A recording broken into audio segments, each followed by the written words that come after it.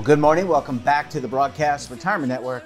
I'm Jeff Snyder. This is BRN AM for Friday, May 5th, 2023. And our top story today personality differences and investment decision making. And joining me now to discuss this and a lot more is Zhengyang Jiang. He's an associate professor at the Northwestern University Kellogg School of Management. Professor, it's great to see you. Thanks so much for joining us on the program this morning. The pleasure is mine. Well, the, I think the pleasure is entirely yours. And you and, and a, a, group of researchers create uh, did a lot of research around personality and how personality translates to investment decision making. From your perspective, how important is our personality when you look at other factors like sex and race, et cetera? So um, let me say a couple of things. Uh, so first, uh, I think our interest is driven by the lack of explanations for investment decisions and outcomes. So in the finance literature, we have been searching for individual characteristics, experiences, things like that, that could drive or explain the observed differences in investment decisions and outcomes. And that has been quite a challenge. So the background is that um, there has been a challenge to figure out the factors. And on top of that, I think the personalities come in a unique angle because it allows us to leverage what we already know about personalities in other life decisions, including economic decisions. So that gives us a connection to, to this very large literature about the whole like span of life experiences. And finally, you said something about the gender and other demographics. So this is also something that surprised us, suppose. We can roughly run a horse race between personalities and what we call the demographic variables including things like gender, income, uh, education, things like that. Personalities across different outcome variables uh, have a pretty strong explanatory power compared to a large set of such demographics.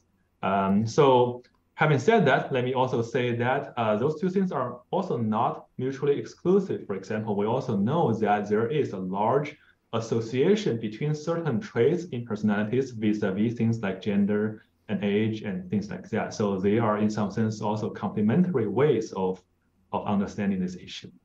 Yeah, and, and it really probably gives you some insight.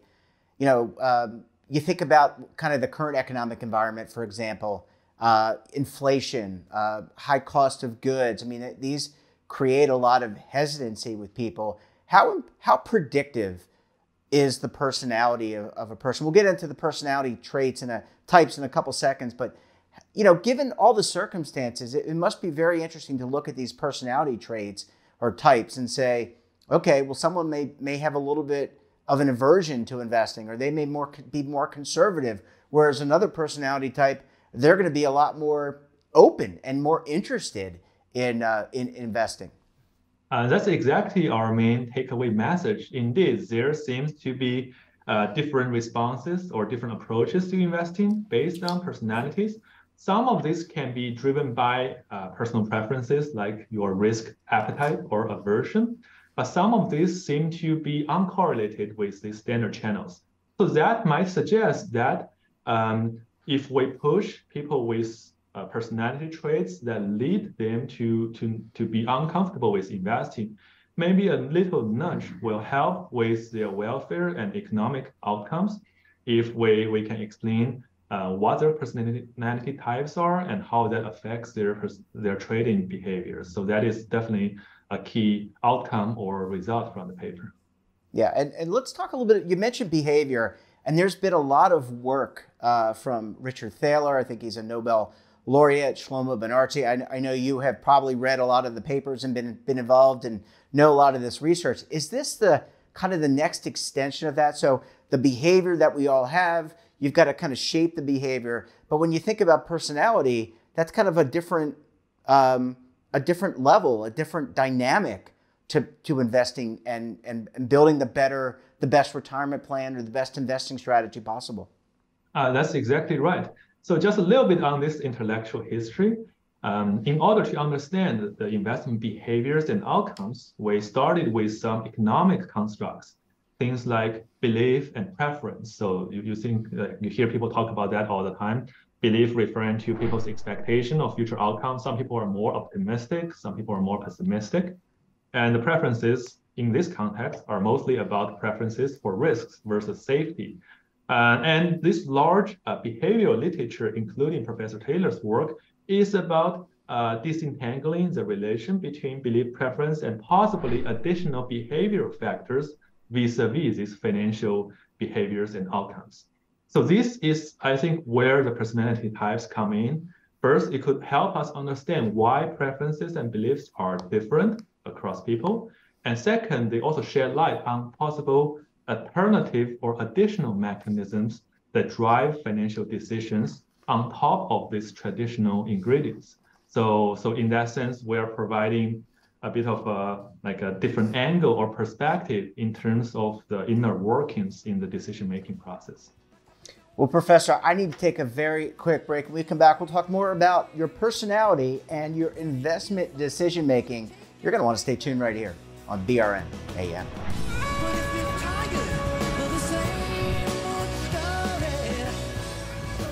Imagine a new television network that will make you richer, healthier, and in control of your financial future.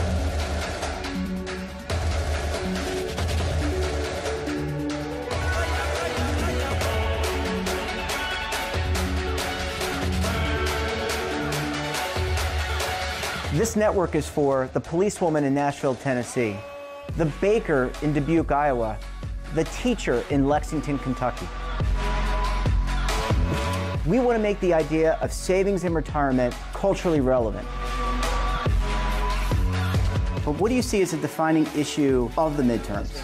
Especially for the smaller businesses. I mean, they are the lifeblood of the American economy.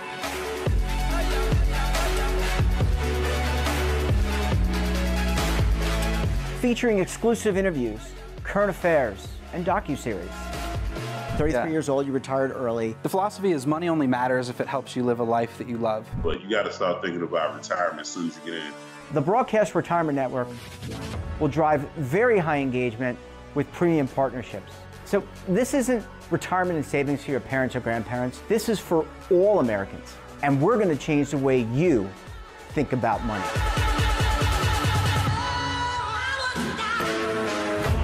Welcome to the next frontier of retirement and savings. This is BRN, the Broadcast Retirement Network.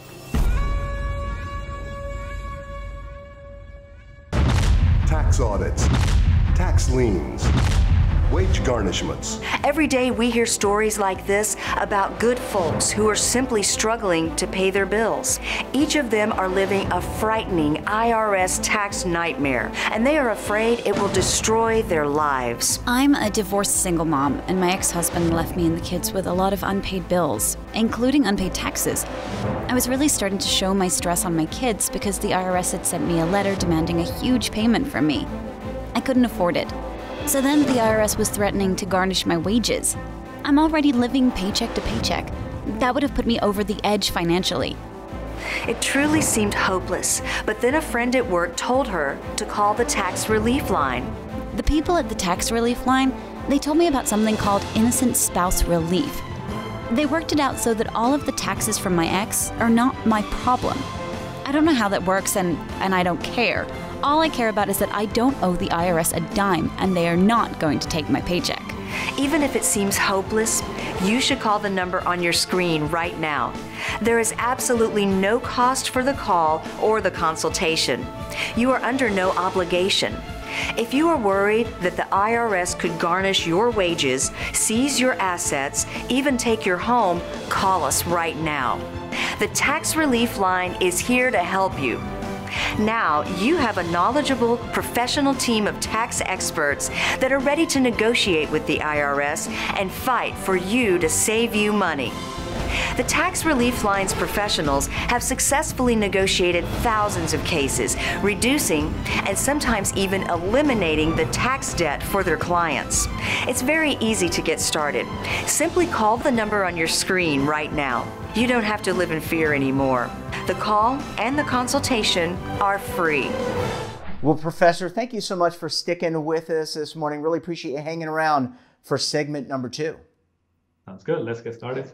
Yeah, this is great. And happy, by the way, happy Cinco de Mayo to you. Uh, it's a little early to go out, but um, maybe a little bit later. Uh, Professor, let's talk about some lessons here from the research. We, we had referenced uh, the work by Professor Thaler and others in behavioral economics. Let's talk about what does this all mean for investment managers, people that manage investments, and also financial advisors, people that are working directly one on one with an individual. Mm-hmm. Um, let me actually break this down to these two groups of people because there might be different lessons, in fact. So first, for financial managers, uh, I guess the, the key message is that we are all outcomes of our personality types, which might be based on genetics, experiences, and so on. So for example, one personality trait that really stands out as a key driver of both financial outcome and also belief is neuroticism. So this is one of the key the big five personality traits in our study.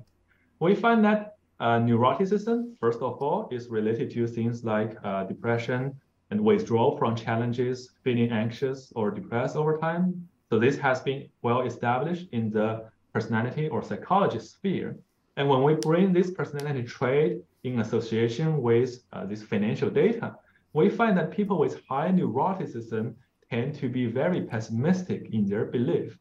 To be more precise, they have a lower expectation of stock returns, GDP growth, and they have a higher expectation of inflation, so they tend to be the pessimists across the board. And our uh, message here is that first, uh, if the managers with certain personality disposition could understand themselves a bit better, they might want to adjust their gut response to, to taking up uh, the investment opportunities. Maybe they need to understand that they are the more pessimistic personality types in the population and to make a sound personal, a sound investment decision, especially on behalf of other people, they might want to offset their natural disposition by rationally thinking about the risks they're taking and thinking about the incentives or uh, the objectives of their investment strategies. And second, for the financial advisors who advise people or who provide guidance for people who are perhaps less sophisticated in finance, I think a key um, lesson that we learned in this project is that uh, understanding your client's personality types is really a good way of uh, starting not only um, understanding their incentives and their biases, but also a good way of connecting to the clients. Let me again use neuroticism as an example. So suppose you are dealing with people with high neuroticism. Again, you want to help them understand what that means, not just for their personal life, but also for their financial investments. And you want to convince them maybe to take a little more risk than they would like to, help them to become comfortable with doing that, and explain why that improves their portfolio or financial outcomes.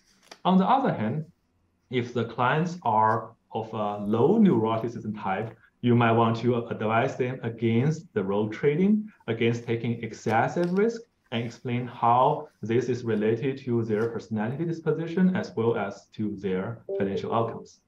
Yeah, and, and, Professor, I want to carry it forward. One of the big issues in this country, and I think it really is globally, is financial education, financial literacy. How does this research shape how we teach our youngsters who arguably are maybe not getting the education they need around finance or getting other aspects, history, social studies, et cetera, uh, chemistry. But how does this shape the education so people become more financially literate, whether they're here in the States or somewhere else in the, on the globe? So um, yes, I am very much um, agreeing with this direction. In fact, uh, the collaborator who helped us produce the survey and collect the data is American Association of Individual Investors, which is exactly devoted to the financial education of, of our country. So let me say two things here. Financial education is not just about understanding the market, but also about understanding oneself. Because there's no one perfect solution of financial decisions or investment ideas. Everyone has to find something that is commensurate with their personality types and also with their life scenarios, with their life stages. Uh, when they are single, when they have kids, and when they are approaching retirement age, all of those things would mean that they want to pursue maybe a different and customized investment strategy. And financial education about both the market and about themselves through things like personality studies will help a lot to that direction.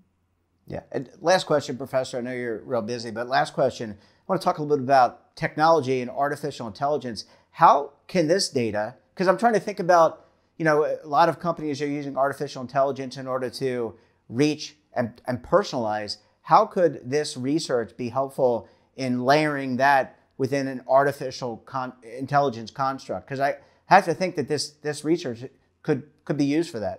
Certainly. So I think the key lesson here is to broaden the scope. You and I and many of the listeners might have taken a financial survey before they started working with some advisors, right? The survey includes things like, let me choose between a riskier job with maybe higher outcomes in some states and lower outcomes in some states vis-a-vis a more stable job with a stable income. Things like that helps the financial advisor to elicit risk preferences. So this is part of things that will be informative about this particular investor. But uh, uh, the, what I want to say is that by looking at how personality explains investment behaviors and this decision-making process, we may want to broaden the scope of input into this body of data that AI or other technology could help us process and help us understand the investors. So instead of, or in addition to asking about the risk preference, we may add additional things about personal behaviors and personality dispositions. And this information will also be informative for AI to aggregate and to understand uh, the incentives of individuals. Yeah, well, this is, again, another layer to add. We keep on finding out more and more about ourselves. Uh, it's just kind of, it's really fascinating from that perspective. And obviously, when you layer in the investment decision making, it just adds another uh, bit of context. Professor, we're going to have to leave it there. Very interesting research. Congratulations to you and your colleagues for performing it. And we look forward to having you back on the program again very soon. Thanks. Good. Thanks a lot. Bye bye. And that wraps up this episode of BRNAM. Have a topic of interest, someone you think we should talk to, drop us a line. And don't forget, for all the latest curated news and lifestyle, wellness, finance, tech, so much more in all in one place, check out today's edition of our daily newsletter, The Morning Pulse.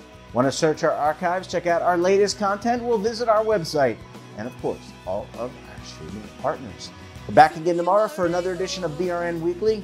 We'll be taking a look back, that's right, back at some of our best segments for the week. Until then, I'm Jeff Snyder. Stay safe, keep on saving, and don't forget, roll with the changes.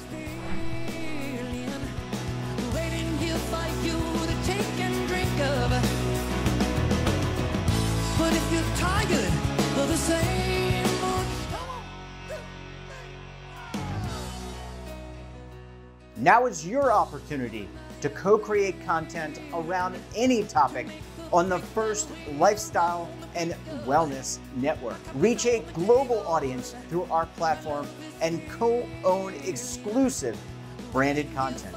All of our programs are available on demand and also as audio only podcasts, so you can take us on the go. Broadcast Retirement Network, available anytime, anywhere, and on any device.